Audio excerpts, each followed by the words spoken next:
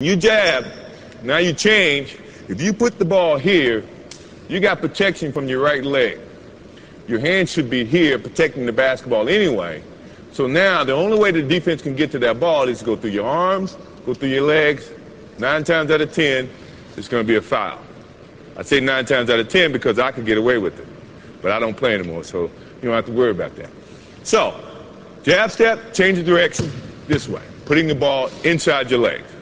Now, the good thing about an offensive player is you got to be able to go both ways. If you go one way, now you're limiting your options. The defense is going to read that, and then they become more, I guess, have the advantage to try to limit your options. As an offensive player, you never want to limit your options. So, when you're working on that move to do it this way, also do it that way. So now you can have two options. If my man's taking a defensive stance, the thing that I'm looking at right now is he's playing parallel. So now he's playing me to go either way, which is good. Which and also, to